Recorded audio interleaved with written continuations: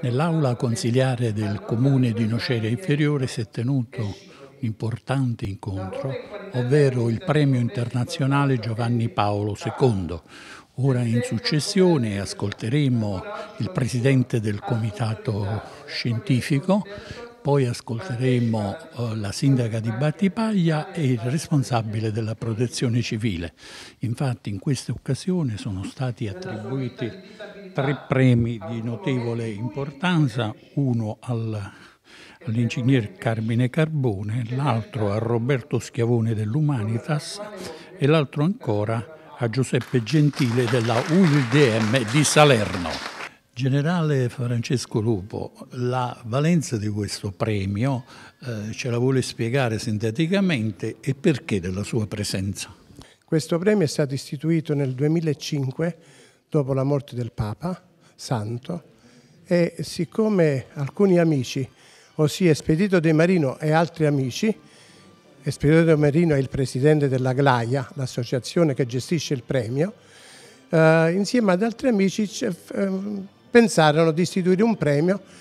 per premiare le persone che si erano distinte nella loro vita per la seralità della vita.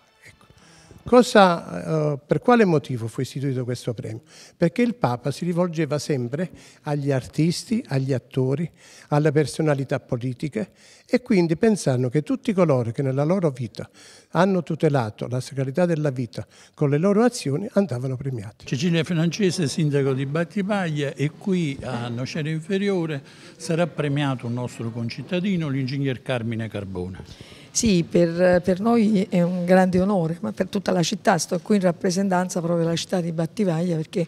fa piacere che a un nostro concittadino, ma poi all'ingegnere Carmine Carbone che conosciamo tutti, venga riconosciuto questo premio importante. Eh, stavo prima con il sindaco Torquato Maglio che è venuto anche lui a salutare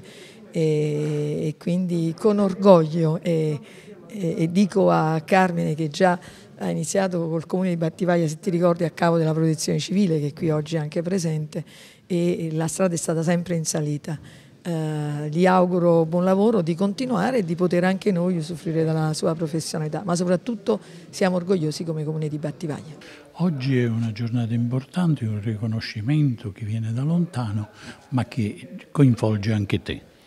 Sì, noi siamo onorati di essere qui presenti oggi a Nocera Inferiore eh, per un riconoscimento dato a, ad uno dei volontari fondatori della protezione civile di Battipaglia, eh, l'ingegnere Carmine Carbone, eh, oltre un, un, pensiero che è stato rivolto al coordinatore dottor Giovanni eh, Di Maio, eh, volontari all'epoca insieme a altri,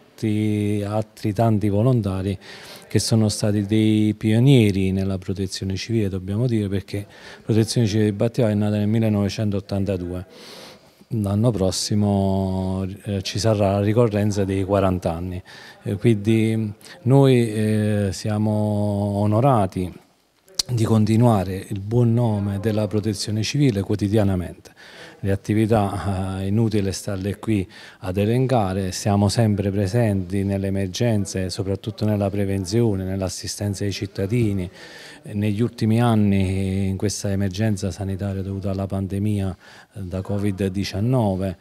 però sempre la protezione civile H24, 365 giorni all'anno, di cui io mi onoro di eh, coordinare, però come è stato detto poc'anzi durante la cerimonia, io coordino, ma il, il merito, il risultato va a tutti i volontari che ugualmente dagli ultimi iscritti a chi sta da 39 anni eh, contribuisce alla, al buon risultato eh, di squadra.